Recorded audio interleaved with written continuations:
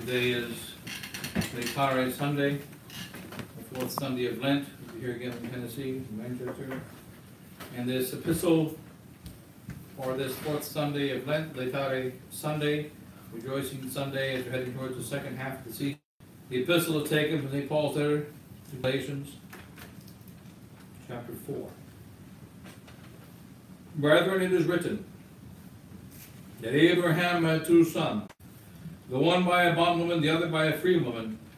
But he who was the bondwoman was born according to the flesh, but he of the free woman was by promise. Which things are said by an allegory. For these are the two testaments, the one from Mount Sinai engendering unto bondage, which is Agar. For Sinai is a mountain in Arabia, which hath affinity to that Jerusalem, which now is, and is in bondage with her children. But that Jerusalem which is above is, is free, which is our mother. For it is written, Rejoice, thou barren that bearest not. Break forth and cry, thou that travailest not. For many of the children of the red desolate, more than of her that hath a husband. Now we, brethren, as Isaac was, are the children of promise. But as then he that was born according to the flesh persecuted him that was after the Spirit, so also it is now. But what saith the Scripture? Cast out the bondwoman and her son. For the son of the bondwoman shall not be heir with the son of the free woman. So then, brethren, we are not the children of the bondwoman, but of the free. By the freedom with Christ has made us free. In the gospel? Taking that according to St. John chapter 6. At that time, Jesus went over the Sea of Galilee, which is that of Tiberias, and a great multitude followed him because they saw the miracles which he had did on them that were diseased.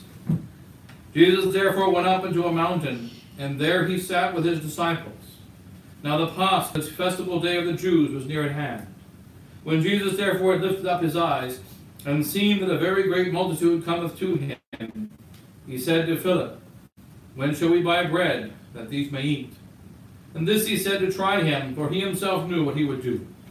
Philip answered him, Two hundred pennyworth of bread is not sufficient for them, that every one may take a little. One of his disciples, Andrew, the brother of, Simon Peter, saith to him, There was a boy here that hath five barley loaves and two fishes. What are these among so many? Then Jesus said, Make the men to sit down. Now there was much grass in the place. The men therefore sat down, in number about five thousand. And Jesus took the loaves, and when he had given thanks, he distributed to them that were at sat down. In like manner also of the fishes, as much as they would. And when they were filled, he said to his disciples, Gather up the fragments that remain, lest they be lost.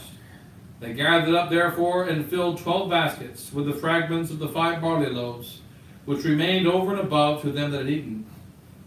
Now those men, when they had seen what a miracle Jesus had done, said, What is that? This is of a truth, the prophet that is to come into the world.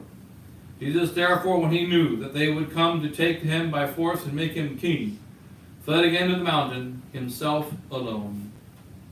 That's why the words of today's Holy Gospel.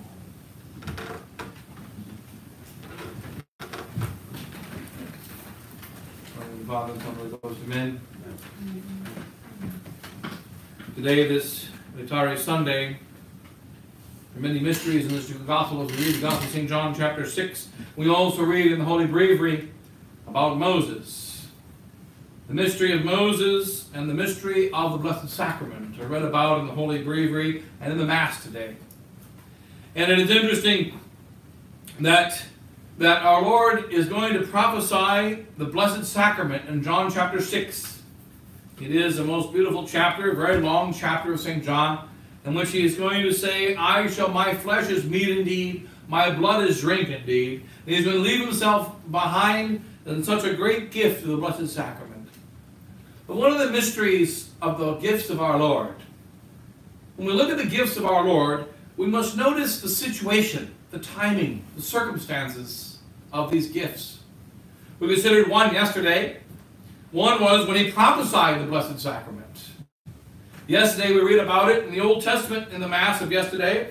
We read about it about Abraham, and in the, or in the breviary rather, read about Abraham, and how Abraham was uh, that, that uh, he had the battle with Melchizedek.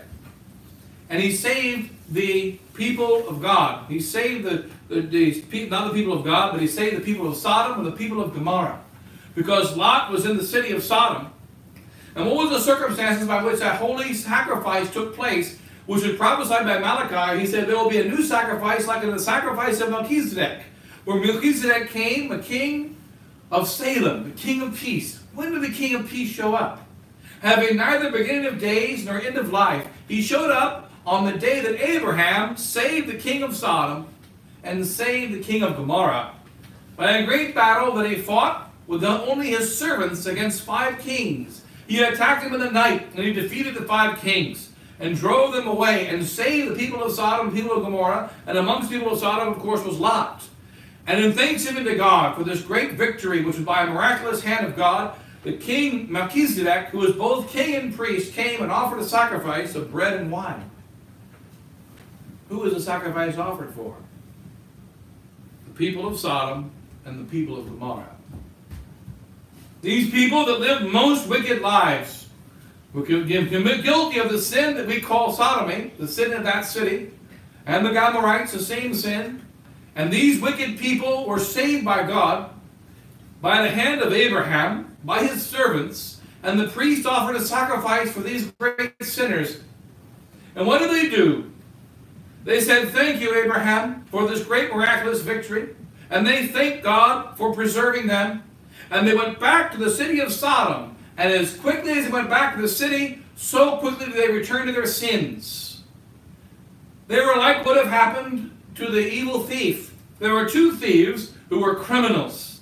Two thieves that were wicked and murderers and blasphemers and enemies of God hanging on the cross next to Christ. And one of them was St. Dismas and the other one was Gesmas. And what did Gesmas say?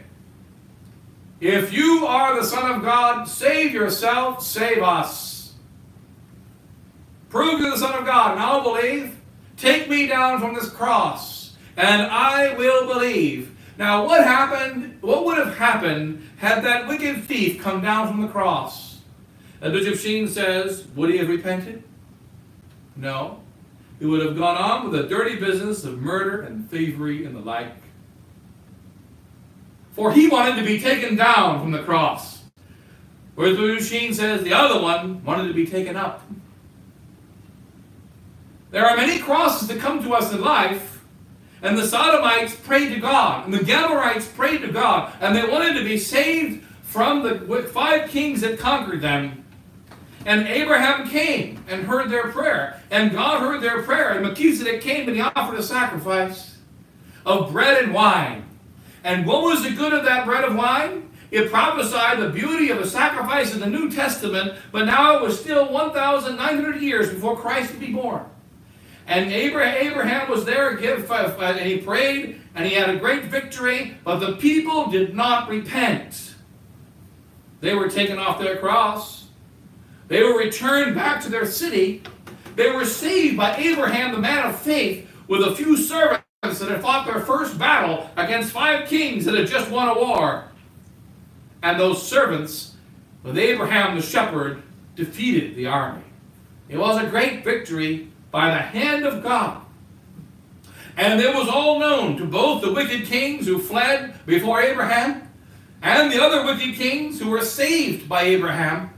And Abraham, and his faith himself, recognized God was behind this, and it was the offering of bread and wine, the power of the offering of bread and wine, that brought about this great victory. Victory comes from the Mass. Who benefited from it? They were all there. And they went right back to their sin. Just like right now in the church, many people are saying there are many good signs in the Catholic Church because the Latin Mass is coming back. The people of Sodom, the people of our modern world, and the people of Gomorrah, the people of our modern world, they are going to the Latin Mass.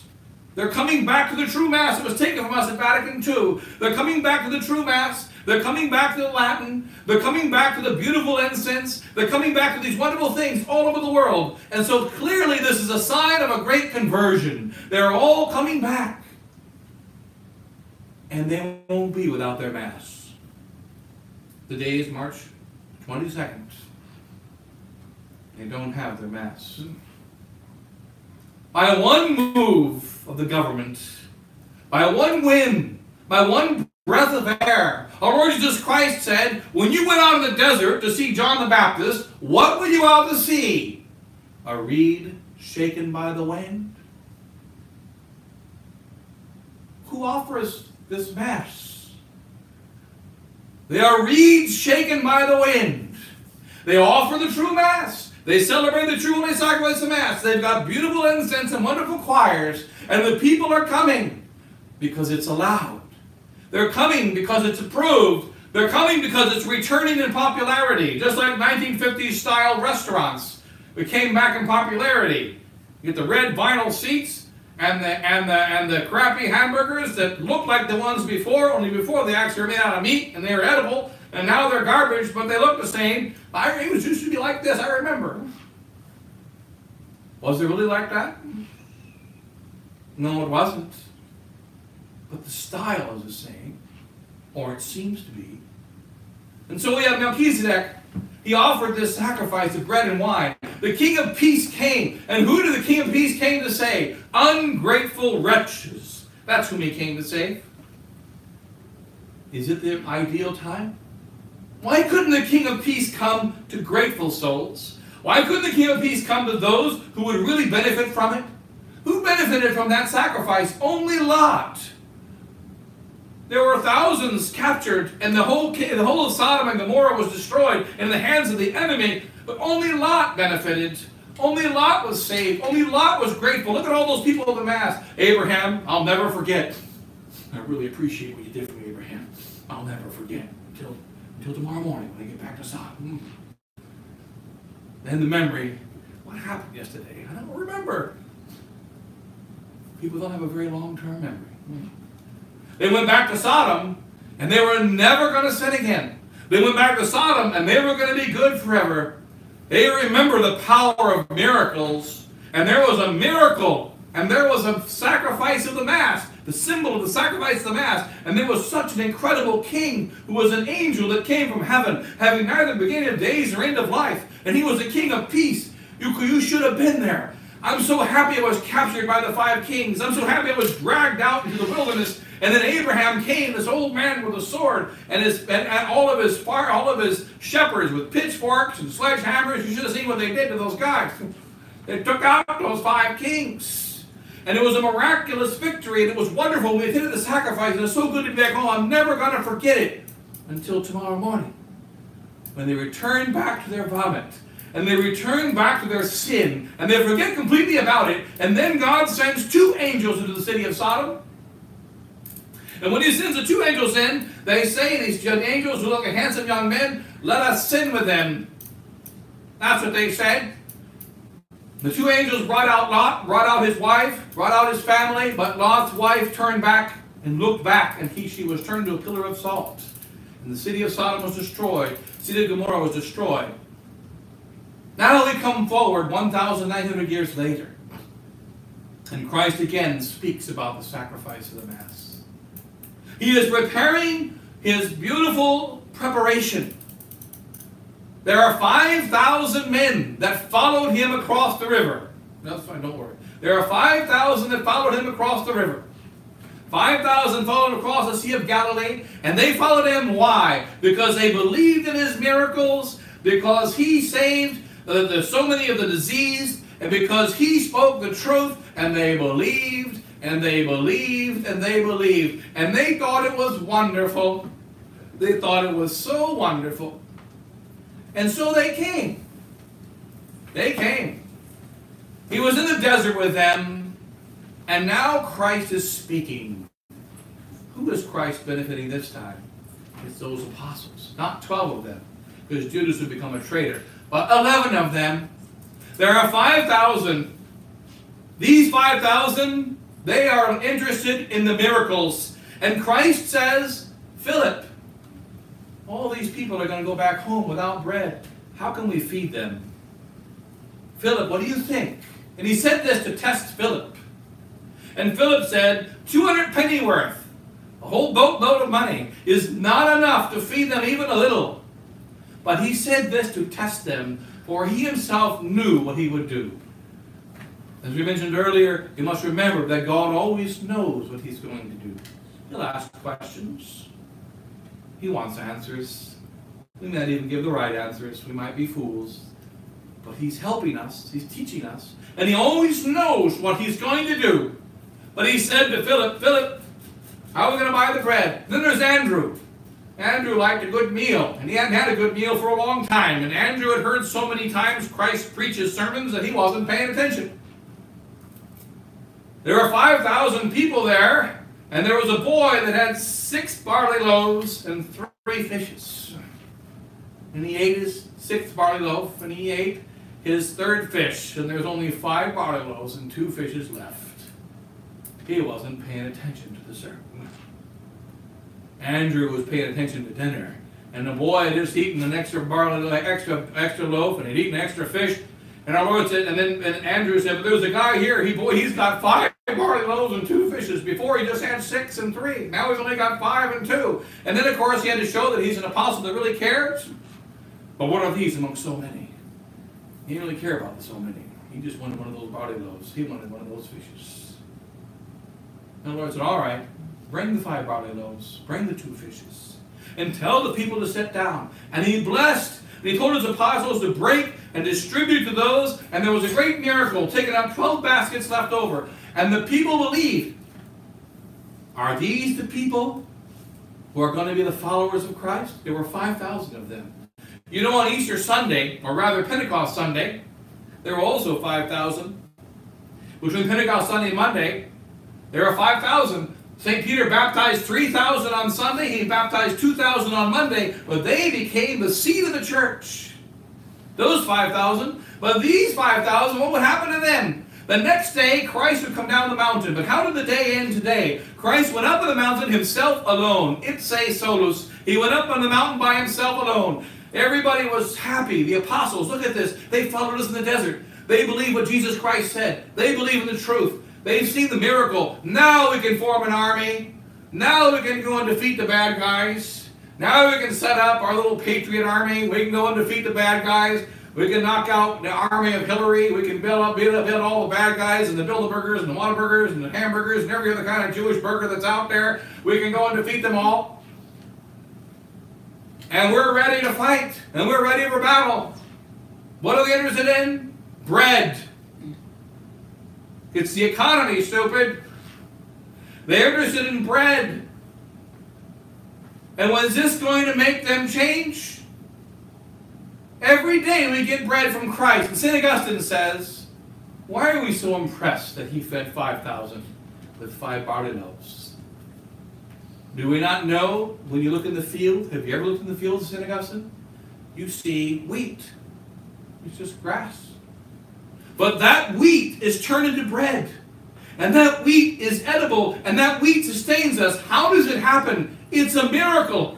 It's a miracle every single time a little grain of wheat grows up to become wheat. It's a miracle every time wheat is put together and becomes bread. It's a miracle every time you put butter on it. And he says we don't worry about the miracle because it happens so often. But this miracle was rare. And so we think it's an interesting and a great miracle because it's rare. But all he did was multiply bread. Whereas every day and every year we see the bread created. We see the bread formed by Christ by a miracle every year. But we are not grateful for the miracle. We don't ask God to give us this day our daily bread. We stop to do that prayer that He taught us, which is part of our Holy Rosary. Give us this day our daily bread. It comes from God. We forgot about that. But they want their bread. And they want their bread, and that's going to make them become great. And Judas firmly believes in the bread. And Judas believes in the victory. And Judas is very excited. But what happens? Christ leaves and goes to the mountain. Ipse solus. This is crazy. It is a scandal to Judas. Here is his chance. He says he wants to convert the whole world as Jesus Christ. He says he's the Messiah, and every time he gets a chance to form an army, he goes and runs away. Every time he gets to gather everyone around him, he goes and does something else. He goes to the mountain himself alone. I can't believe he did that. But the next day he comes down the mountain. And he speaks to the people and he tells them, Eat my flesh, drink my blood, and unless you eat my flesh and drink my blood, you shall not have life in you. That is my real flesh you must eat, is my real blood you must drink. You don't mean it. Oh, yes, I do. Three times he said it to make sure it was very clear. They must eat his real flesh and drink his real blood. And they all, 5,000, including women and children, about 20,000, all walked away from him in disgust. And as they were beginning to walk away, our Lord Jesus Christ said to them, later in the same chapter 6 of St. John, You were happy yesterday, not because you believe in me. You were happy not because you believe I am the truth. You were happy because of the bread. I'm not here for bread. I'm not here for money. I am here to give you divine life. And I'm here to lead you to my Father. And I'm here to give you the Holy Ghost. And I'm here to be your example. And I'm here to shed every drop of my blood for the love of your souls. I'm not here for bread. And I want you to know, love, and serve God with all your heart and all your strength and do everything else in order to get to God. In order to make happiness enter into your souls. You already tried bread. You already tried drug, sex, and rock and roll. It doesn't work. Do you think it'll work again? It won't.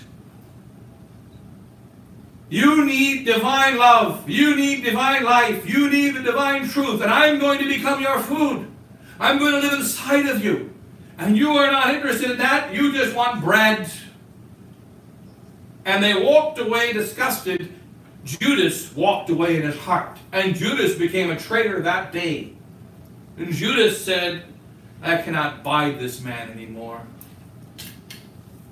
And then our Lord turned to his apostles. Will you leave me also? I was so popular yesterday. They were going to make me king yesterday. They believed in everything I said yesterday. They said I was the greatest yesterday. And it's not even been 24 hours. And they have forgotten and they have walked away. Are you going to leave me also? And here we see the beauty of one of the most wonderful souls God ever made, which is Simon Peter. And another who was very much the heart of Peter was Moses, that we'll read about also today. Sacred Scripture will tell us about Moses, and he's a type of St. Peter. The Holy Ghost says about Moses when he died, in the book of Deuteronomy, there was no man like unto Moses from the beginning of the world until his time.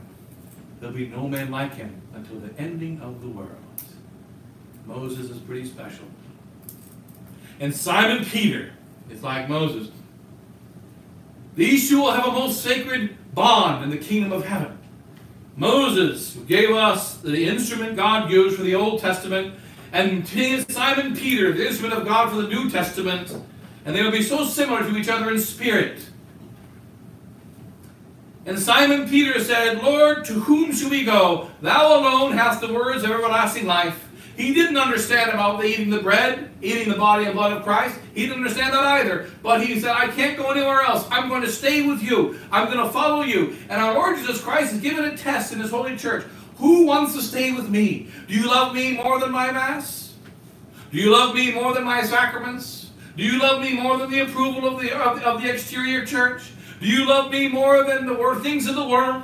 Do you love me more than other things and all things? For he that is not with me is against me. He that gathers not with me scatters. Simon, son of John, he will say later, Dost thou love me? Yea, Lord, thou knowest that I love you. That's the important question.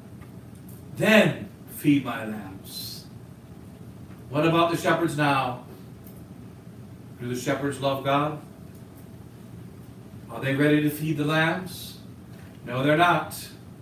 There must be a conversion of the shepherds. They don't love the lambs. They don't love Christ, and therefore they can't feed the lambs. They can't feed the lambs. They can't feed the sheep. And what about Moses? Today we read about Moses. Moses, after 40 years, forgot to circumcise his children. He was a Jew. He murdered the taskmaster. He ran away because he was afraid of getting caught. He, lived, he got married and lived in the desert and did not even circumcise his own children. He wasn't really practicing the faith, but he was still believed in God. He was too busy taking care of his sheep. He was also a shepherd. And he was watching the shepherds in the mountains one day, and he saw a bush on fire. Once we read about the Holy Breviary today, he was all the bush on fire. What a wonderful thing. This bush is on fire, which happens all the time in the desert, but the bush is not being consumed by the fire. That's really neat. I'm going to look at that. And he ran over to see the bush, and as he got to the bush, God spoke from the bush and said, Moses, this is holy land. Put off thy shoes and it is God speaking. Moses was afraid to look at God, and he turned his face away. Just like Simon Peter, when he learned of the great miracle of the catch of fish, he said, Depart from me, for I am a sinful man. He had the same spirit as Moses. But our Lord said, No, I won't depart from you, Simon Peter. Follow me, and I will make you to catch fish. I'm not catch fish, but to catch men. And to Moses, he said, you are the one that I'm going to send to save the Jewish people. You can't send me. He didn't want to go. No, you are the one. And I will send your brother Aaron with you, but you are the one. I want you to be the one. So Moses went. And like Simon Peter, he would make some mistakes later on in his life. But his heart always loved God. Even though he made so many mistakes. Just like David later on, the grandfather of our Lord Jesus Christ, would make so many mistakes, but his heart always loved God. Therefore, Christ never abandoned Moses, though he made mistakes. And he never abandoned Simon Peter, though he made mistakes. He never abandoned David, though he made mistakes. And though his whole Jewish people turned against him so many times, he never abandoned them. And even at the end of the world, after all these sins of generations, they shall be brought back to their knees and back to the love of God. Our Lord is going to have his will and going to have his way. But we are not here for bread. We are not here for the economy. We're not here for a boom. We're here to know, love, and serve God, and by this means to save our souls. That's what we're here for. Let us live that way. And our Lord Jesus Christ went to the mountain himself alone because he wanted to form his apostles. And he did form them. He did change them. He did make them pleasing to him. But in any case, we rejoice that Lord Jesus Christ loved us, even though we are not very lovable. And he offered a sacrifice for us, even though we don't deserve it, we are ungrateful. And out of these ungrateful people, he still brought some to repentance. He still brought some back to his love. And we are asked the grace to be amongst those who have been so ungrateful in the past for all the gifts that God has given to us, to be grateful from now on, to change from now on, to go back to the knowledge and love of God, and have confidence in that knowledge and that love to be our protection. And if we have tears, let us cry to heaven. He will hear our tears. Because God said to Moses today, Moses, I have heard the cry of my people, and I will send you to be the instrument to save my people. But I have heard their cry. Their cry has gone to heaven. I have heard their cry, and now I'm going to deliver them. Well, right now, there are souls suffering throughout the world, and they are crying. Let their cries go to heaven. Let their cries go to Christ. Let their cries go to the Blessed Virgin Mary, and she shall hear, and the saints shall hear, and our Lord shall hear, and they will present their these, these tears to the Father, and the Father shall hear, and then he shall send back the victory of the Blessed Virgin Mary promised by Fatima. He shall send the victory, and the enemy shall be defeated, not by the human power, not by our human ways, but by the movement of the mysterious power of the divine love, and the divine ways that can never be defeated. Let's have confidence in them no matter what happens. Never leave the knowledge and love of God. God bless you all. In the name of the Father, and the Son, and the Holy Ghost. Amen.